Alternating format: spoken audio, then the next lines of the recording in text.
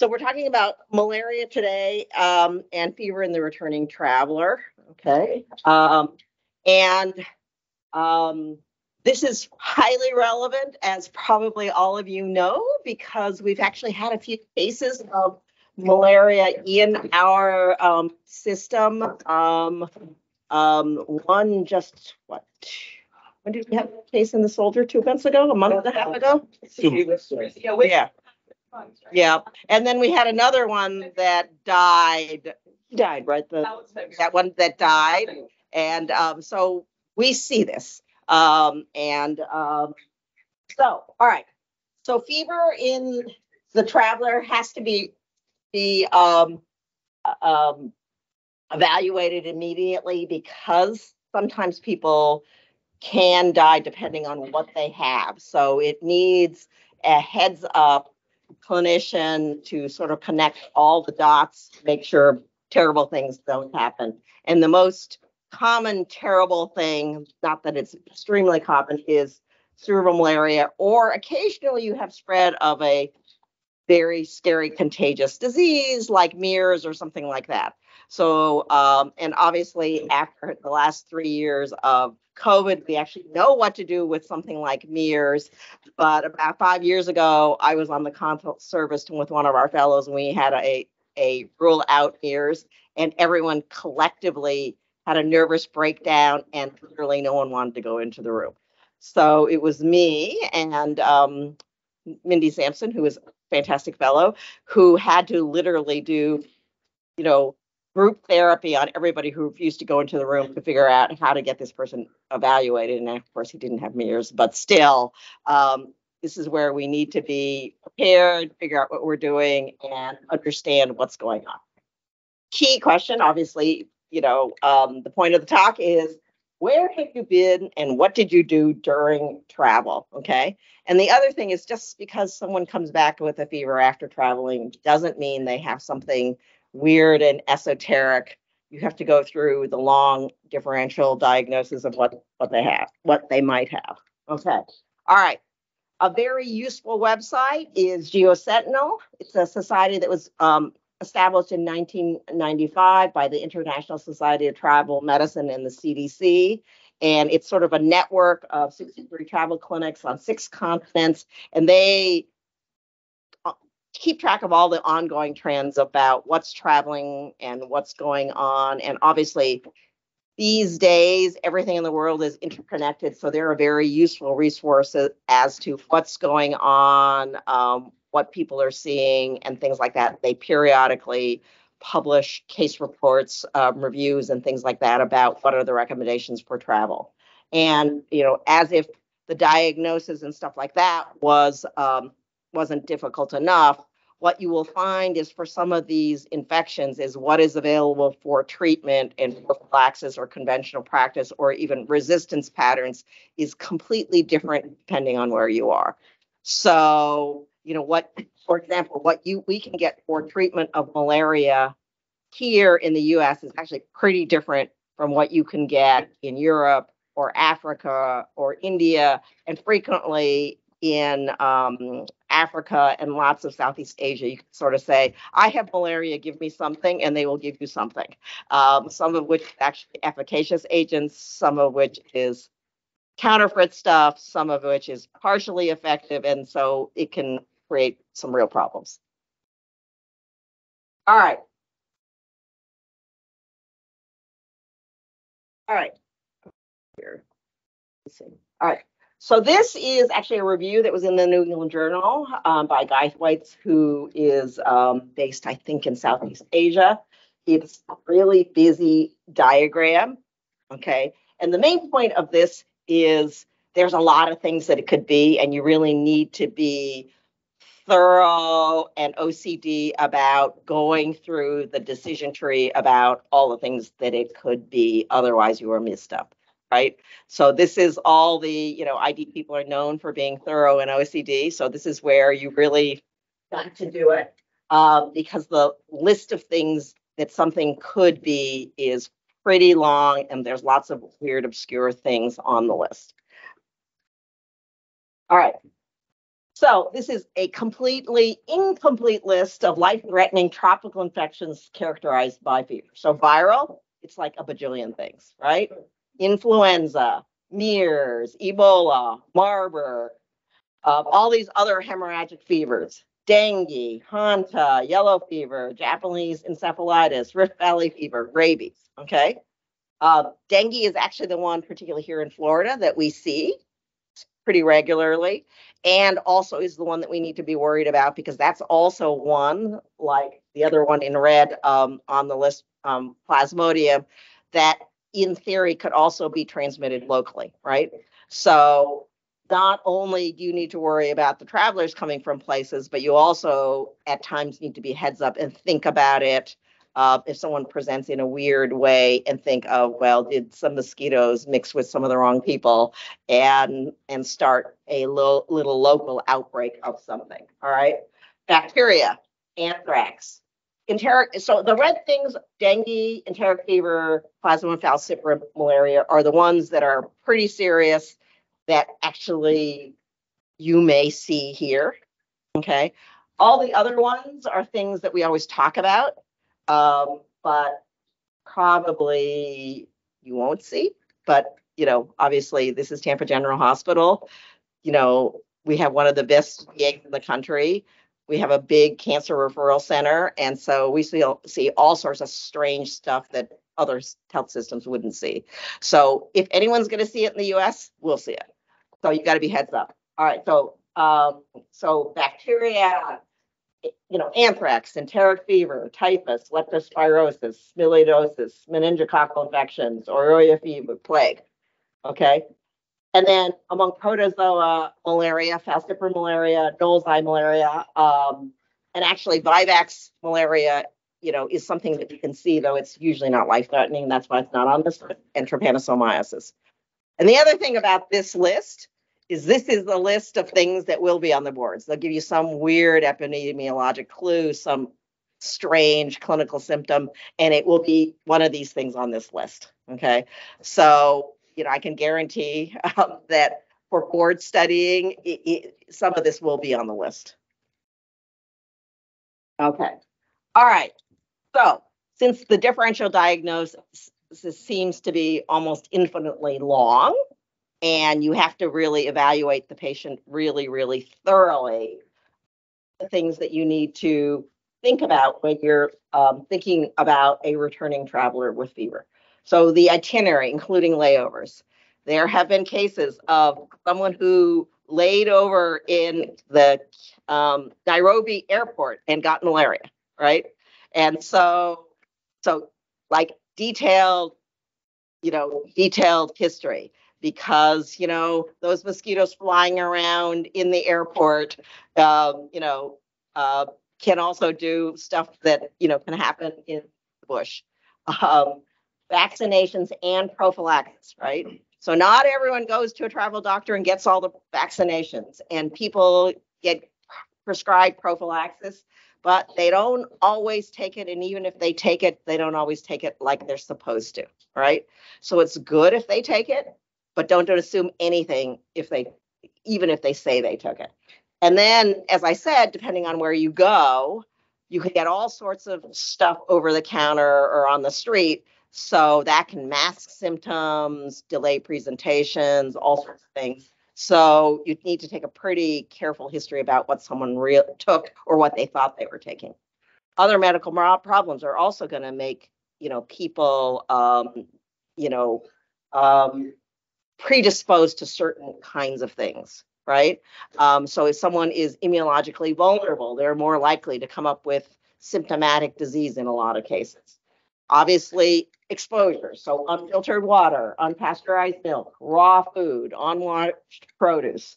You know, whether they drank fresh water, bottled water, um, walking in soil or barefoot on the beach, sexual contacts. Um, people don't want to talk about that, but sometimes they go to places explicitly for sexual tourism, right?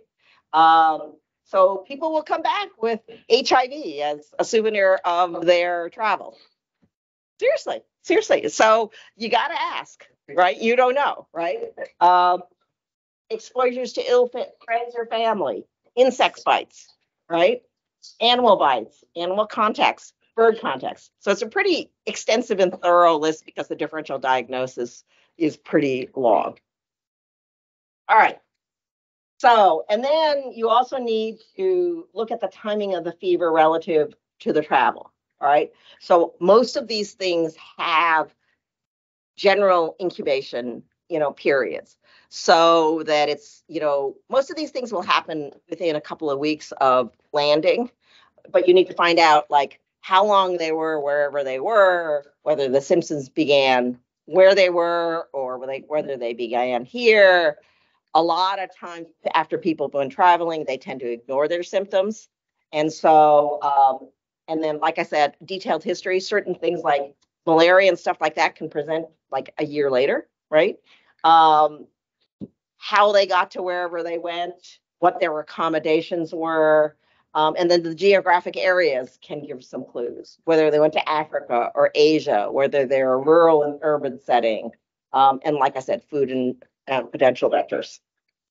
All right, so the most common diagnoses where we actually make a diagnosis are malaria, and obviously that's exposure to mosquitoes.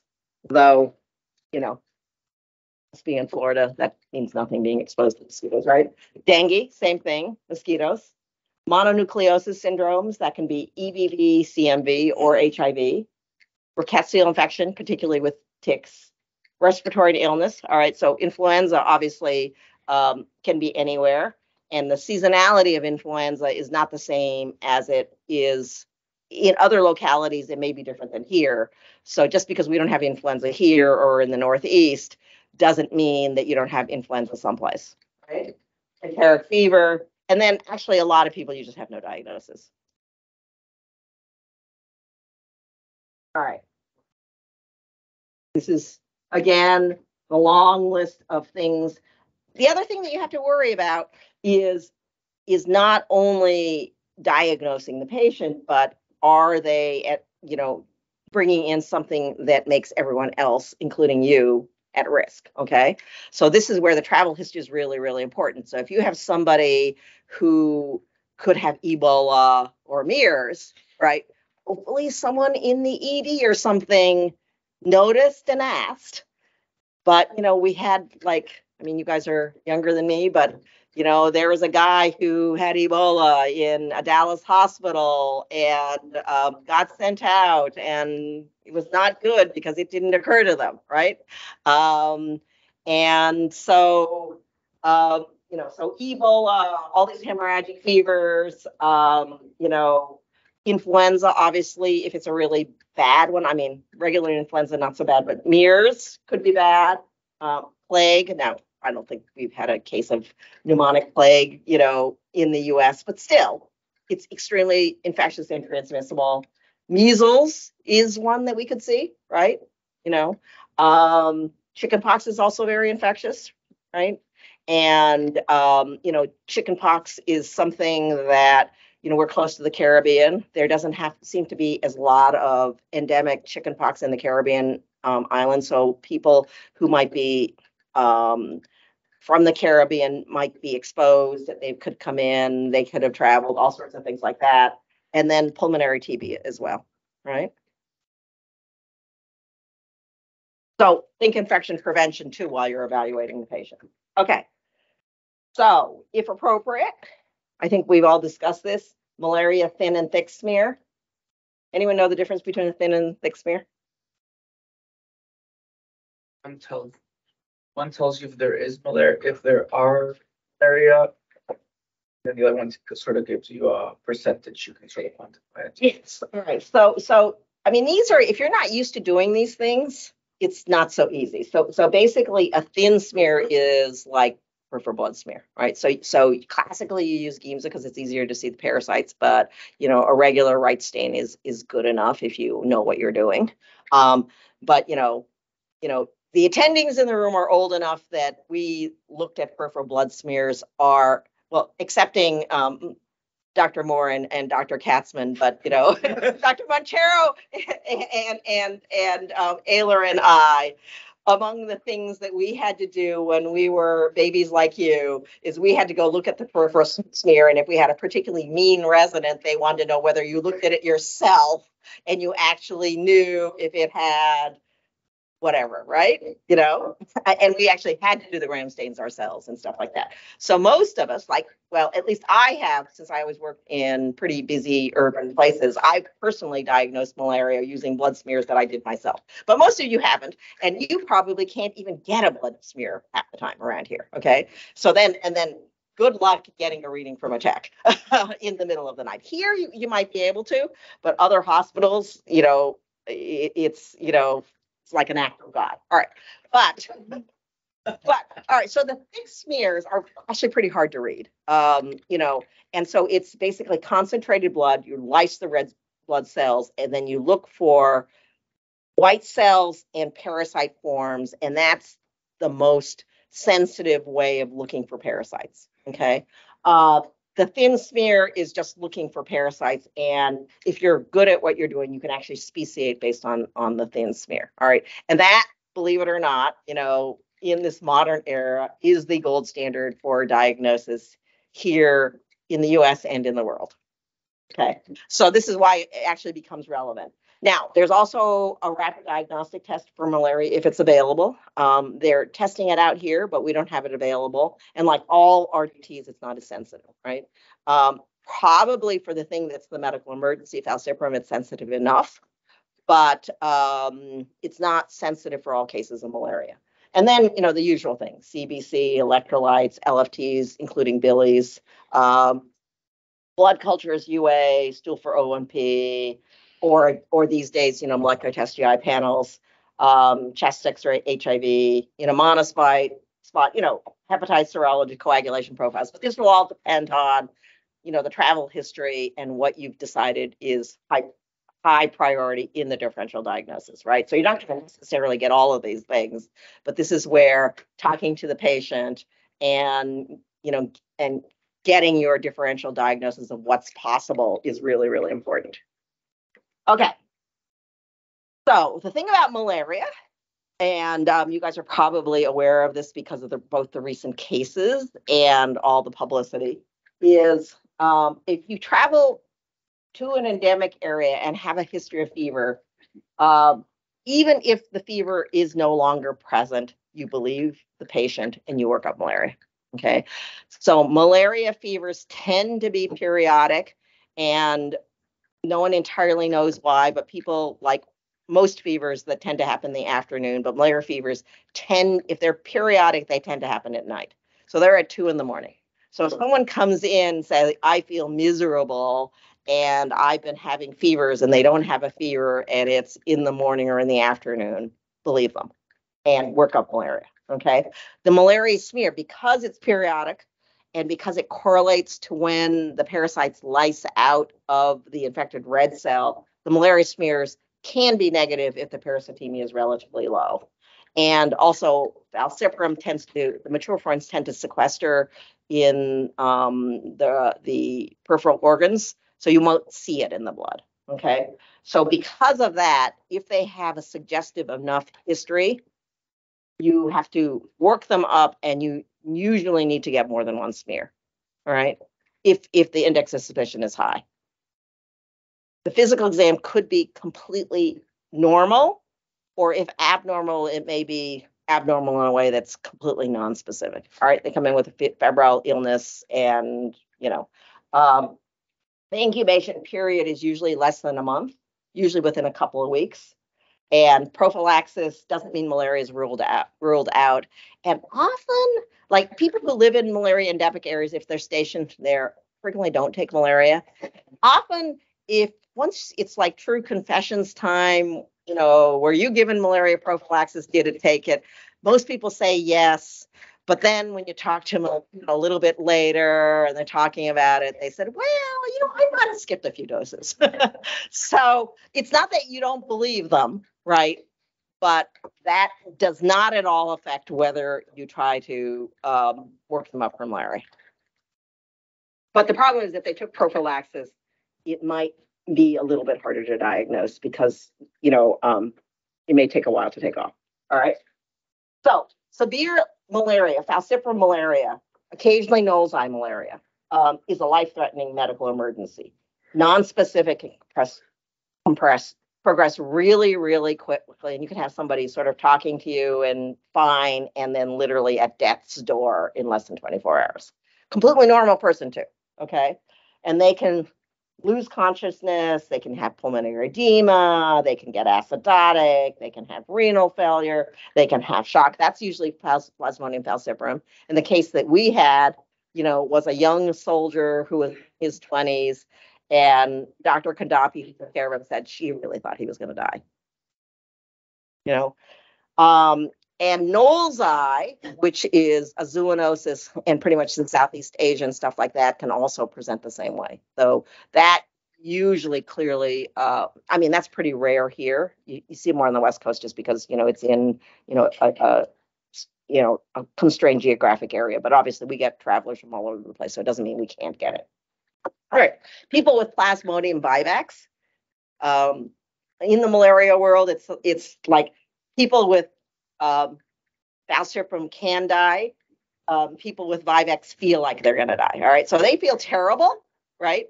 You know, but the parasitemia tends to be low. They feel god awful, but they actually usually don't die. So this doesn't mean that you shouldn't pick it up and be the good doctor and and but Vivax is not that same level of medical emergency as falciparum. So, malaria 40% of the world's population lives in malaria endemic areas. Um, and the human malaria's effect, I mean, I don't even know where they get these statistics because, you know, how can you count malaria, malaria cases in the middle of the supposedly it's 250 million people and 600,000 um, deaths per year. And if you any of you have been to um, Africa, you know that it's like a little piece of paper done at the county, you know, thing that's transmitted to the National Health Office on yet another piece of paper. So these statistics you have to take them with a grain of salt, but you can't follow trend lines, right? So um, and you know, during the COVID era, we didn't have any malaria because no one was reporting any malaria, but no one believed that, right? Um, so it's associated with huge world poverty, huge economic cost, and the CDC, Tulane, um, you know, College of Public Health, Hopkins College of Public Health were all started for malaria control because we had malaria in the U.S. Okay, um, until the 50s, and officially we were certified as having no malaria in 1970. All right, so obviously, you know what's going on here in Florida and Sarasota and with global warming and world travel and Florida being Florida and mosquitoes being everywhere, if if malaria can come back and be endemic again, it will happen here, right? Okay. all right. So malaria has a long and illustrious history. All right, it's been known for you know millennia. Um, in Italian, the name came from mal aria, so bad air. So people did know somehow it was in the air. Turned out it was in the air because it was mosquitoes, but there have been a lot of Nobel Prizes associated with malaria. All right, Laveran discovered the blood stages. Ronald Ross um, proved that mosquitoes transmitted it. The first sort of medication, which became quinine, was from the coconut tree. So one of the big fights was, um, you know, like controlling areas and islands that had these trees because as part of you know the wars for global domination countries would literally fight for the islands that had these trees but because they the, the generals knew that infectious diseases were killing their soldiers okay? Um, all sorts of weird stuff happened. Malaria was actually used to treat syphilis. So you did fever induction treated and then treated the malaria with quinine. And there's another guy who got a Nobel Prize for treating syphilis with malaria. Um, and then obviously, um, Dr. Tu devo- discovered artemisinin and drugs that um, from and and that she won uh, in 2015. So malaria is a big deal. All right. So plasmodium um, is the causative agent of malaria. There's hundreds of named species. Most of them are exquisitely adapted to their hosts. So reptiles, birds, rodents, monkeys, animals, you know, of all sorts.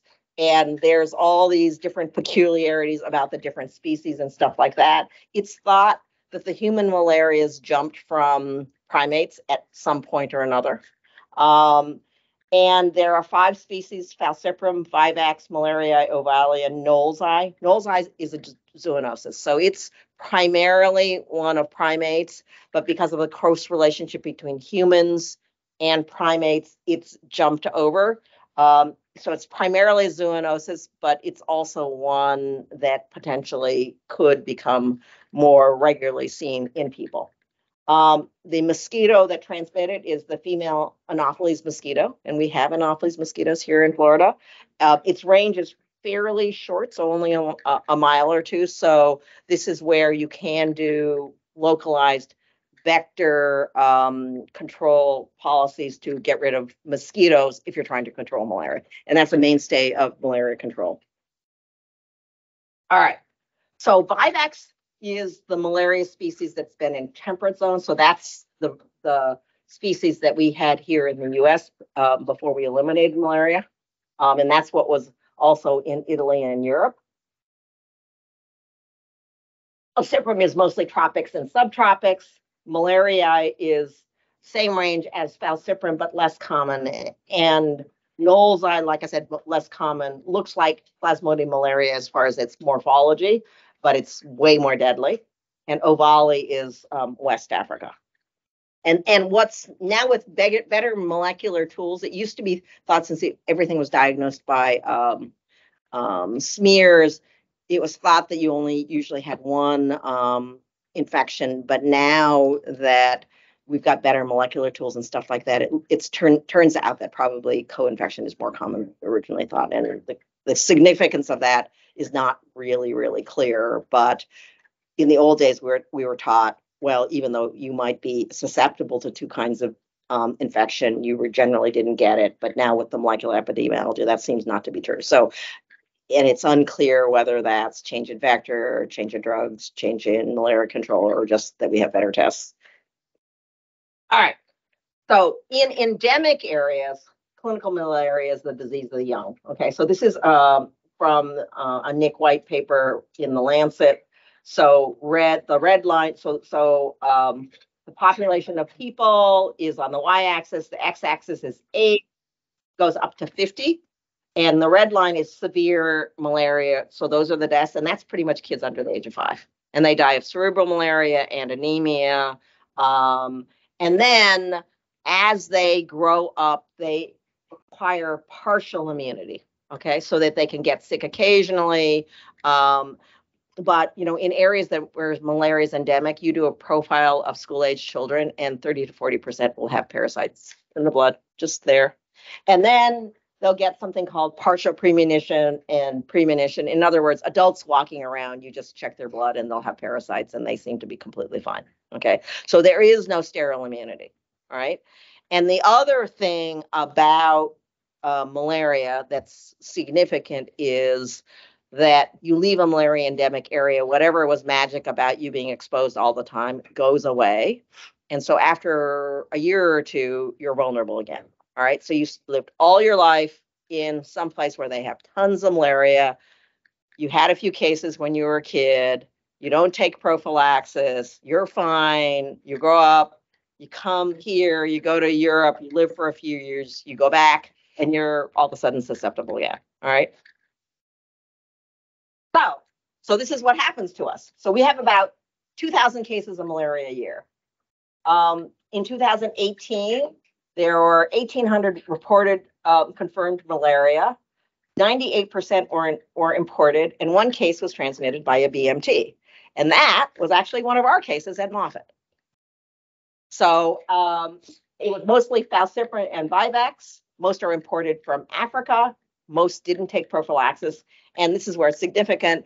Most were visiting friends and relatives. And the deaths almost always happen because someone didn't think of it or there was a delay in diagnosis or inappropriate treatment. So that case over at Moffitt was because a hematology tech was very on the ball, noticed the malaria on the blood smear. All right. The person who got the BMT did not, had not been in a malaria endemic area. Turned out her sister had been, and maybe she sort of got treated, but she never really got treated, and she certainly never thought she had malaria, right? Um, and a lab tech picked it up, called the very on the ball ID fellow, right? Um, yeah, were they your year or they were they were a year? Okay, so anyhow, so so basically, so Nate goes, you know, and and runs around trying to figure out what to do. Tries to get. She doesn't look so hot, you know, um, and tries to get artesunate from the CDC. And at the time, um, and and they gave her oral oral meds, and her parasitemia was going down, um, but her she was getting more confused. And he tried to get artesunate from the CDC, and their instructions were do not give her artesunate. We only have one batch, and we have limited number of vials. So they basically getting artesunate from the CDC was like literally an act of God. David Freedman, who's a world famous travel medicine person, said if you want it, you just have to lie and say, you know, that that seriously, this is what he used to tell me is just lie and figure out what it takes to tell them and and, and they'll send it to otherwise they will log it. So so anyhow, so Nate calls me up and said, I hear you're a malaria expert. This doesn't sound right. And I said, No, you're absolutely right. Um, try calling them back and stuff like that. He goes, Yes, their parasite is going, but she's getting more confused. She looks really awful. I'm really worried. so I said, All right, call around. Somebody might still have some IV quinidine and um, give her everything that you can that's oral. You know, find some quinine, you know, find some doxycycline, see if you can get her to take it and call around and see if someone has IV quinidine. And the VA fortunately did have some, so she got some IV quinidine. And then I think a day later they finally did get artesunate. But literally, this was um, Nate and Mindy, who was actually the regular um, Moffitt ID fellow going the extra, you know, 15 miles to make sure that the right thing happened, right? And and so you know, so this is where um, that made a difference. And and similarly, the case that we had was was Anna Sakura and Guy Handley coming in to make sure that this kid had malaria. Unfortunately, he died because we didn't have our IV artesunate, and he, it was everywhere. But still, you know, it was them going and then working hard with Dr. Montero's stewardship team. So we had artesunate. So then when we had the soldier from the Congo that Dr. Kandapi thought was going to die, we at least had our IV artesunate. So this is where, you know, you look at all the case reports of people who die in the US, it's because someone didn't think about it. And Mindy actually told me of a case that she had. It was the beginning of COVID, and some woman had been in Liberia and they were so sure she had COVID that it never dawned on them to figure out whether she had malaria. So she came in and and, and nearly died, went into renal failure, and got cerebral malaria because no one checked a malaria smear until she'd been like in like three times. Okay, so this is a a medical emergency, and if you don't think of it, you won't. And and getting treatment is real pain in the neck.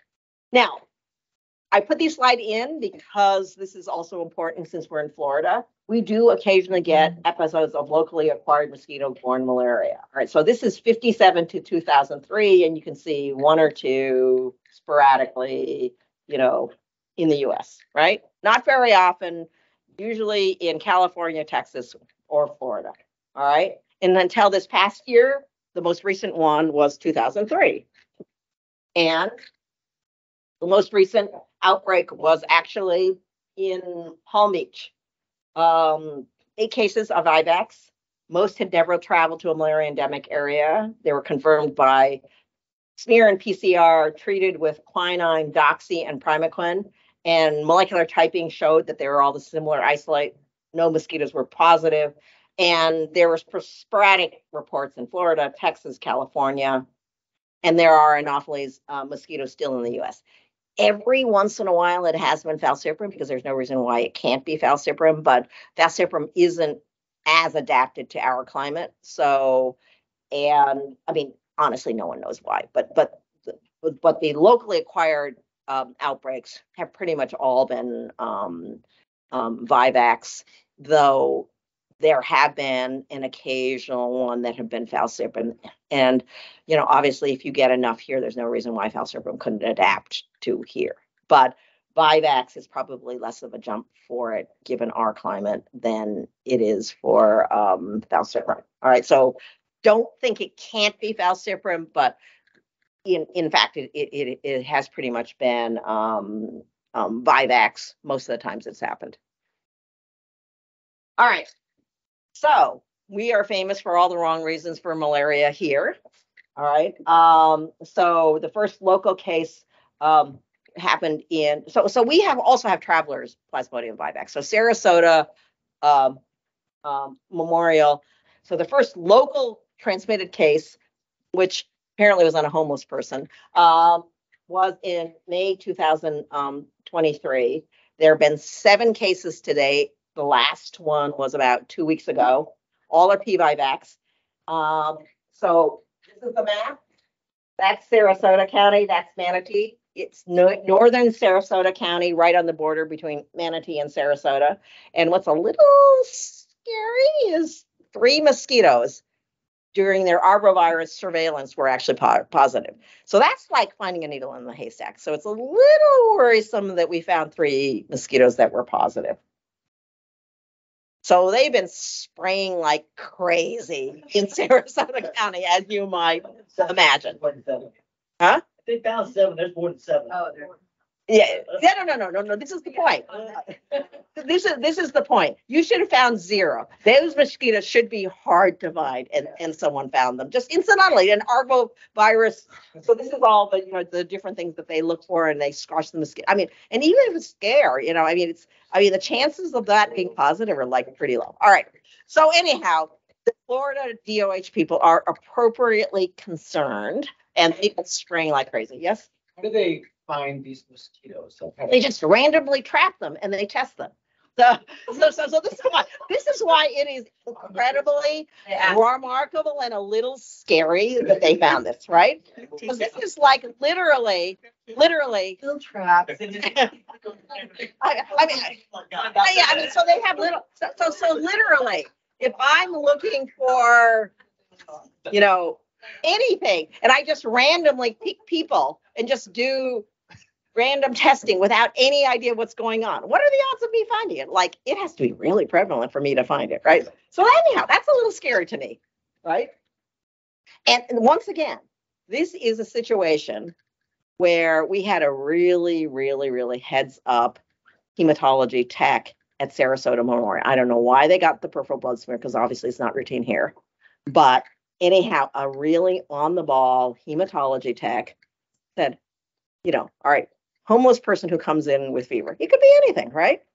And I mean, maybe it's because I think they all had thrombocytopenia, so maybe that's why they they they were worried about TTP or something else. So maybe that's why they did the peripheral blood smear. Anyhow, they did the peripheral blood smear, and uh, very heads up hematology tech said, "Huh, there's malaria here," and called up the ID doctors, and then they changed their protocol so that they actually in service the RDTs and stuff like that. So Sarasota Memorial, Sarasota Memorial actually has the RDT, and they changed their protocol so that they can actually diagnose malaria pretty well, and so that they've actually diagnosed. I think of the seven cases, they've had like five there.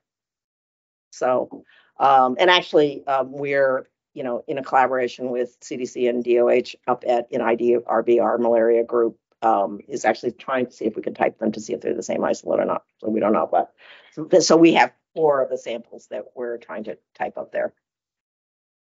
So, uh, so we'll have to see if we have any more. I know they've been spraying like crazy, but this is, but this is another thing, right?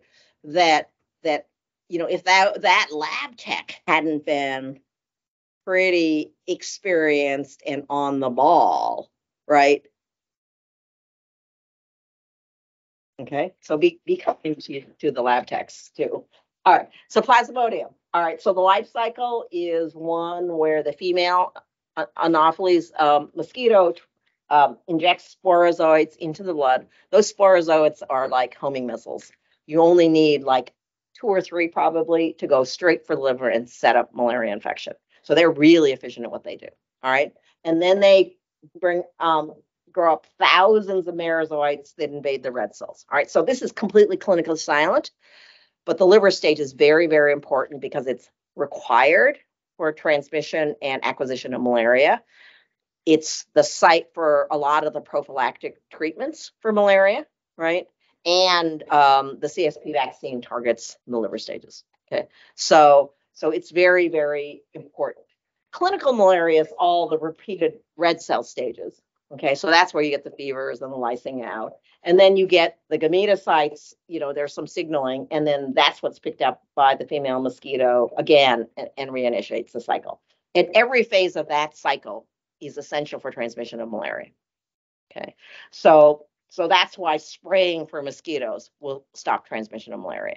And that's why also vaccines and um, drugs targeting the liver stage, if it works, will also tra- stop transition of malaria. A question. Are people with like cirrhosis or liver disease more or less at risk? Like, is it a, a worse environment the I don't know. I mean, because you know the problem is where malaria is, you know, probably people with cirrhosis and stuff like that do so badly from all the other things that they would get that they like. Like it's it's it's sort of would be hard to know. I mean, like where there's a lot of malaria, I think it's sort of hard to live a long time with cirrhosis, right? Because it's like in the middle of Africa, right? So I don't know. And then you know, doing a cohort study, how would you know, right? So so I think it would be hard to tell. I don't know. Okay. All right. So that's a female Anopheles mosquito, that's sporozoites. Um, and, and like I said, those are homing missiles that are like have an incredible, they're very efficient, right? They have to go into the skin, make it out of the skin, into your blood system and make it to the liver. And they're very good at doing what they do, right? And then they um, have a replication phase in the liver. Um, and you know, one or two can make thousands, right? And this is completely clinical silent. There's no way you would know if this had happened to you. All right, so two of the species, Vivax and Ovale, are special in that they have some sort of mechanism that no one understands where some of the parasites go on and make merozoites that infect the blood and some of them just go to sleep. So hypnozoite, hypno means sleeping, and there's some of them that just sort of sit there sleeping for unclear reasons. And what's actually sort of interesting about it is um, how frequently what they wake up seems to correlate with, you know, how possible it is to transmit and seasonal, like when mosquitoes are around. So they um, so the relapse rate in tropical areas where there's mosquitoes around all the time seems to be higher than in temperate areas where there's more seasonality with mosquitoes and things like that, which is very strange and very interesting. But all right. So if you're talking about the erythrocytic schizogony, in other words, the replication in the red cells, um, Knowlesi, and this is why Knowlesi is so dangerous, is it can go through the whole cycle in 24 hours. So we can go from some to a lot really quickly. Falciparum, ovale, um, Vivax, it's a 48 hour cycle, 72 hours for malariae. You know, this is also something that who knows, it could be on the boards. Is this functionally important? Probably not, but, um, but, um, and, and classically, though this also is not incredibly helpful, um, you know, you have periodic fevers, right? So classically, you have fevers every two days with Vivax and Ovale and Falciparum. Is that really, really helpful for making a diagnosis? Not really, but this could be on the words, right? For Falciparum, really, if there's a periodic fever, you know, they they tend to have it at night, but they frequently just have fevers, you know, in in less synchronous pattern. Okay. Um, and that probably is because they can infect any red cell. So there, there are some on today's cycle and some on, you know, yesterday's cycle, and and and that's the story. Okay, but there are differences in the fever curves, and this is sort of one of the classic, you know, old time parasitology, you know, things that people, very smart clinicians, noticed a long time ago. So do the fevers correlate with like when they're lysing? the Yes, cells? yes. So that's why the fevers tend to be at night for reasons that are, I don't understand why malaria parasites know it's nighttime, but they know. And even the lab, they know. Like I used to work on malaria a long time and I tried to get them to lyse out during the day. And after like literally six months of trying to get them to be obedient, I realized it was easier for me to drive into the lab at midnight because because they just lyse out at night. I don't know why. But they but so so there is something about something or other that they're programmed to lyse out at night. Now it makes sense, you know, thinking biologically, right? You know, in that lysing out in the evening and things like that, you know, that's when people are lying down. That's when you know, when mosquitoes might be around and stuff like that.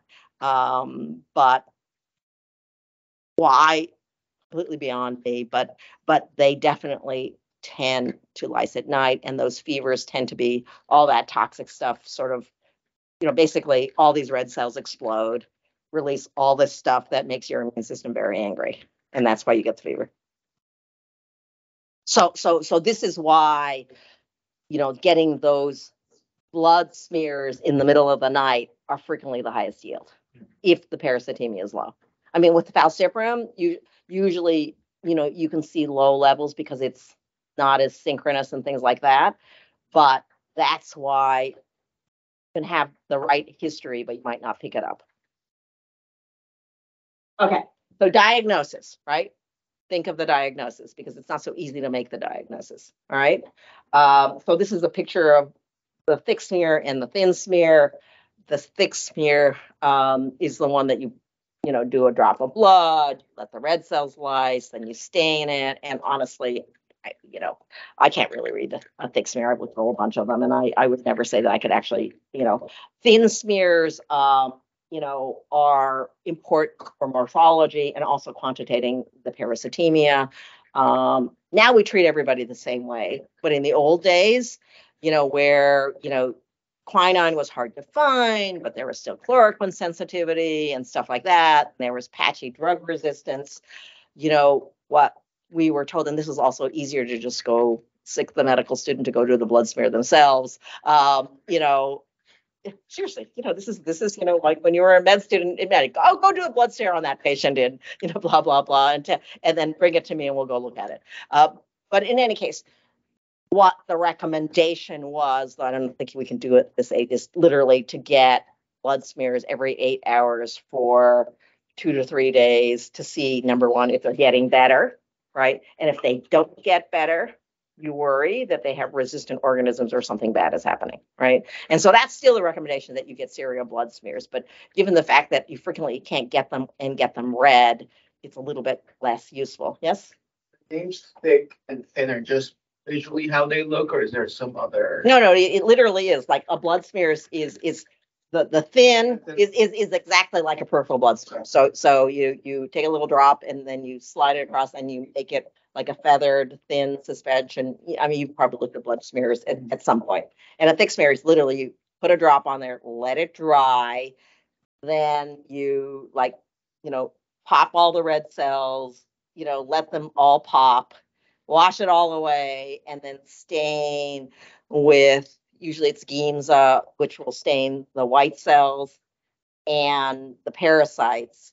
And then you normalize the parasite count to the number of white cells, and that gives you a rough sense of how many parasites there are. So then, then if you have low levels of parasitemia, you can sort of normalize and have some idea of how many parasites there are. Like the lab techs here, if you ask them to prepare like a thick smear, it's middle of the night. I mean, I could look at a thin smear in the lab and Right. maybe know what I'm Right. looking at, but how, who would we get to like help us? honestly, honestly, listen, if you're thinking about medical emergency, right? If the parasitemia is so low that you can't see it on a thin smear, if you know what you're doing, probably it's not the medical emergency, right? You know, it's only if the parasitemia is high and they have falciparum that you should be freaking out, right? The thick smear is for medical thoroughness and making sure you're treating somebody. But if you don't see it on a peripheral smear, but by definition, if you know what you're doing, right? They don't have a very high parasitemia, right? So, so, so yes, you should, to be thorough, you should get the thick smear, blah, blah, blah, blah, blah. But, you know, you know, especially if you're just trying to figure out how whether we have any coartem or what we're gonna do, and everyone's having a nervous breakdown because they have no idea what to do about malaria, this should not be our priority, right? It's getting the diagnosis, figuring out whether the parasitemia is, getting, you know, calming the nerves so everybody gets the patient treated appropriately. But if in the thin smear, you can't see it and, and- there are people who know what they're doing and are looking for parasites and you can't find it by definition, right? There, there can't be that many parasites, even if you have the right diagnosis, right? So not to worry, let the lab deal with thick smear and stuff like that, right? So, um,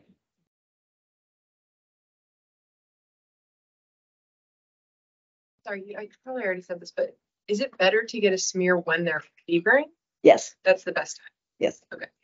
So if that for some reason occurred like during the day, yeah. But, but, but, the- so this is why, though, you know, this is, this is one of the problems with modern medicine and stuff like that is like, you know, we used to be extremely low tech. So you could like, and, and since, you know, I'm in the era where if you wanted a lab done, went and grow it yourself because it was like hopeless to get the blood draw team or somebody to do it, right? So you literally, you, you, like it was on the sign out seat, you know, said somebody to go check the malaria smear at two in the morning, right? Um, and then obviously if someone spiked in the middle of the night, you got called, right? Um, so then you could go, you know, get it done. So getting a Q8 or Q12 blood smear actually was more feasible than it is now, you know? Um, and then, you know, in the old days, you know, you could go down to the lab, you know, most places had a little lab in the ER or something like that. So you could do basic staining, or if you had a big lab like HAT, you could go, like you knew that you could be nice to the heme techs in the middle of the night and they would stick it in their thing and stain it for you. And then you'd come back like an hour later and you'd go look at it. So, all right. So now we're talking about other ways of diagnosing malaria. So, um, so you can do immunologic detection of plasmodium falciparum antigens, HRP2, and that's the the rapid diagnostic test that's done um, um, in um, you know in Africa. So it's a single test. You can have immunologic detection of another sort of pan malaria antigen, aldolase or LDH. Um, you can do fluorescence microscopy. So this is fluorescence of um, you know, of plasma. Of course, you know, I mean, we're not going to be able to get that. I mean, that's cool. And then state labs for confirmation and things like that, they confirm by PCR or DNA probes, but that's also something that you're going to get in a specialty lab. All right. So realistically speaking, we're going to have RDTs here, um, and we're going to have peripheral blood smears here. Is it way over? Oh. All right, well, like, let's see. All right, so, so this is what a RDT looks like, right? This looks like the COVID test. It's, it's, the principle's the same, right? Um, and, um, um, and, and it, it's exactly the same, right? And so like all RDTs, it's easy to use, but it's not as sensitive, okay? Um, and then, so I'm just gonna show you pictures of falciparum, all right? So these are the stages of falciparum, right there, that's a thick smear. I mean, can you, I mean, like, that's impossible to figure out what all of that is unless you're used to, right, in the, in the corner. The gametocytes, classically, those banana-shaped gametocytes, so that's also something could be on the board. So I'll show you a blood smear and say, what does this person have? You see the banana shape, that's falciparum, right? Trophozoites and schizonts, person is really sick if you see that in the person. You will not see that. If you do, worry, because that's really bad. Uh, but you will see those ring forms. Vivax, um, see, Vivax is easier to pick up. Lower parasitemia, but, you know, you'll see the Schüffner's dots. The red cells will look, you know, obviously like weird and abnormal, right? Like, you know, like this, like, like you will know that doesn't look right, right? so you just have to find it. No, I'm serious. I'm serious, right? This is pattern recognition. Like, you know, it doesn't take a lot of genius to figure out that that there's something wrong with that red cell, right? Malariae, similar type thing, right? And, and the problem is malariae and knowlesi look almost identical. It's just the clinical course is different. And Ovale also, right? The, the, the, the red cells look really weird, right? And the red cells look oval, right? So if you find something like that, then it's not hard to figure. It doesn't really matter what species it is. You know that that's that's not normal, right? But obviously, you know, the experts can tell, but if there's clinical overlap, you know, that's Knowlesi, falciparum, and malariae. Even if you're an expert, it would be hard to tell the difference between those, right? Um, so that's why even, you know, um, so so it's you make the diagnosis and then you deal try to decide if it's a medical emergency. Basically, it correlates with what the parasite burden is. Falciparum is the worst. Knowlesi actually also can be really, really bad. Malariae, um, Vivax can be enough that it makes you feel really, really bad. But because Vivax and Ovale are in reticulocytes, right? Like you never have more than one or two percent reticulocytes, even if your bone marrow is completely going crazy, right? So there's a limit to how, how much of a parasitemia you can have because it can't go into more mature red cells, whereas falciparum can go into more mature red cells, right? So that's why the parasitemia can be very high. And another piece of medical trivia that may be on the boards is malariae goes into old cells. What is it with malaria in the, um, the kidneys? You said down there, it said complications, renal. You know, I'm not sure why people get it, but associated with falciparum malaria, um, people do they get black water fever. That's from quinine. We don't give quinine, but they, they they get renal failure. I mean, they basically get multi adults get multi-system failure and they get renal failure and uh, why they get it, I'm not really sure. I don't think people know. You know, it, it, they, they they basically get clinical shock. Yeah, ATN probably. Yeah, it's probably ATN, but the exact mechanism, you know, it's it's you know we don't have so much here. Um, it tends to be this whole multi-system failure tends to be adults rather than kids. So in endemic areas where you can study a lot of malaria, you actually don't see adults that get that sick because they're all immune, right? So so the exact mess is probably ATN, but I'm not really sure. But you know, obviously they come in with like bad shock and then um, you know, and then uncomplicated malaria, it's completely non-specific. The one thing that you see that's a little weird that might tip you off, and that's probably why these people in Sarasota got their peripheral blood smear, is you do get thrombocytopenia with both 5X, pretty much all malarias, right? So that might prompt somebody to go look at a peripheral blood smear. And if it gets worse, then you might see anemia, but anemia you tend, it probably would not, unless they're really, really sick, it probably would not be so bad that that would trigger a, you know, like, let's find out what's going on search. So severe malaria, um, multi-organ failure, and that's mostly adults. Kids die of cerebral malaria and anemia, but you can die of ARDS. And lab criteria for severe malaria, even if the patient doesn't look bad, is if they've got a hematocrit less than 20, glucose less than 40, parasitemia greater than 5% lactic acidosis. I mean, this is like, obviously, they got labs that look terrible. I mean, this is not a subtle thing, right?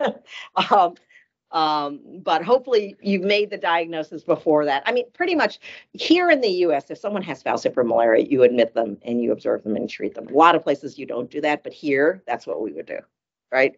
And that's been true since I was a medical student, right? Um, falciparum treatment, resistance common, pretty much everyone would treat with an ACT. Um, some places, depending on where they come from, you can still treat with chloroquine, but I don't think anyone would do that these days. Um, and if you severe, you would treat with IV artesunate. Um, you can treat with atovaquone, quinine. Um, in theory, you can treat with chloroquine, but I don't think anyone would do that in this day and age. Vivax, according to the WHO guidelines, they don't really care what kind of malaria is treated with an ACT. Of course, the US CDC can't agree with that. And so ACT is not uh, um, approved by the FDA for treatment of Vivax. So if you look at the CDC recommendations, ACT is not on them for Vivax, but it does work. So ACT, except for the areas where you've got artemisinin resistance in Southeast Asia, works for any kind of malaria as as of this writing. But but if you look at the CDC guidelines, you will be confused. Like, how come that's not there? It's because of regulatory things rather than efficacy. And then you do need to treat for the liver stages if you have documented Vivax. If you're in doubt at all, the person looks terrible, you're not sure, treat like for falciparum. And you do need to get a G6PD to clear the liver stages and preferably quantitative. Because if you're a little bit G6PD deficient, you can give sort of a lower dose of Primaquine safely. If they're really deficient, then, then you can't give it. And so you actually need a quantitative G, G6PD, which I don't even know. I think it's a send out test here. It's a sign, I, cause if you can't get back, that's just. Yeah, so, so this is, this is another logistical problem that we have to deal with. All right, so the take home message, and I'm sorry I went over time. Um, so malaria looks like a lot of other things. So the most important thing is for someone to think about it. History is key, but obviously here we are in Florida and in Sarasota, more than half of the people, according, I mean, they haven't released all of this, but like I said, because we've been, our lab is very connected with the people in Sarasota and we've been in discussions. More than half the people who got it in Sarasota are actually housing challenged. Um, so, um, and they are sort of localized in the same geographic area. Um, so again, a case of heads up lab people, smart ID people who knew what to do made a difference in these kinds of cases.